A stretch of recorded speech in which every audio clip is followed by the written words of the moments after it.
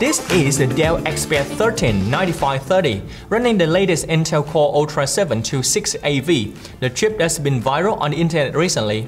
So please stay tuned to see whether it's live up to Intel claim as the most power-efficient x86 processor. Alright, let's start with the CPU performance test.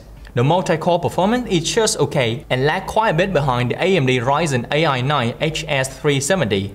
This is understandable because the Intel Core Ultra 7 268V only have a CPU core and consume 37 watt, while the AMD Ryzen chip has 12 core and consume 55 watt.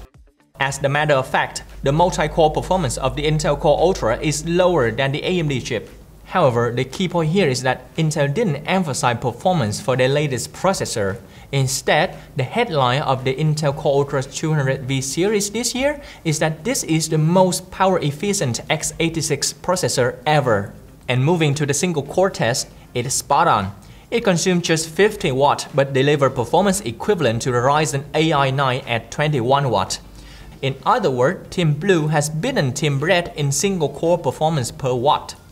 However, it is still quite behind the Apple M3, which only requires 5 to 6 watt for single-core tasks. This means that those x86 Windows laptops that aim for longer battery life will have to equip with larger battery.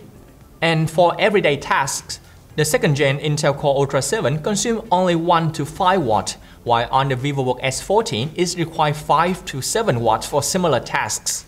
So what do these numbers tell us? Is the Intel Core Ultra series this year any good?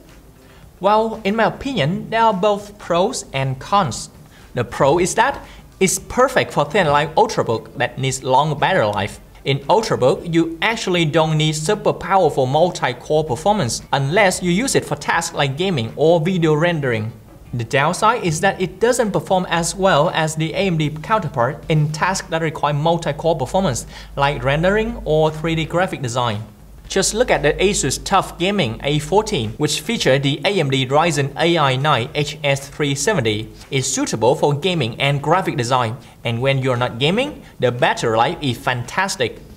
And speaking of battery life, I tested the battery with the ThinkView standard test that I apply to all laptop model under the same condition of 250 nit of brightness and 60 Hz of refresh rate. I believe this is a very decent number for a laptop with only 55 watt battery. This is partly thanks to the extremely power efficient Intel Core Ultra 7 268V and partly thanks to the tandem OLED panel which help optimize the power consumption compared to the traditional OLED screen. And another important thing to take note here is that the Dell XPS 13 run extremely cool. Even with the first gen Intel Core Ultra series or earlier Intel chip, the laptop surface rarely warmed up. But with this year processor, everything stayed completely cool. I work very comfortably on this Ultrabook which is extremely thin and I am confident to say that almost all the Ultrabook equipped with this year Intel processor will also operate at lower temperature. A cooler machines mean fewer issues like battery swelling or degradation over time, the thing that has happened to many previous Dell XPS or Razer model. And regarding of graphic card, this is also a significant upgrade in the Intel Core Ultra 200V series. This laptop runs an integrated 140V card, which is 5% better in raw performance compared to the 890M on the AMD Ryzen AI9. This is a great news for Intel because they often lag behind AMD in this area. However, in terms of FPS in-game, the Dell XPS is still lag behind the VivoBook S14 as the cooling system on the XPS is very limited. When gaming, the GPU and CPU has to work at the same time, so the GPU has to sacrifice and it cannot reach its full potential. When more laptop arrive, I will make more videos to test more game.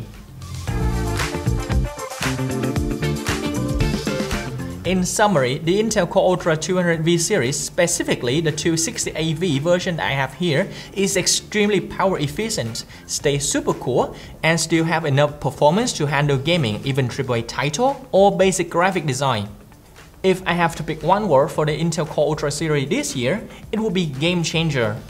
We now have a very different Intel, no longer chasing raw performance, but actually listening to user need. Alright, that's it for today's videos. Hope you enjoy it. But if you want to see how Team Red perform with their latest processor, consider subscribing so you don't miss the upcoming videos. I'm Casper from ThinkView. Thanks for watching and see you guys next time.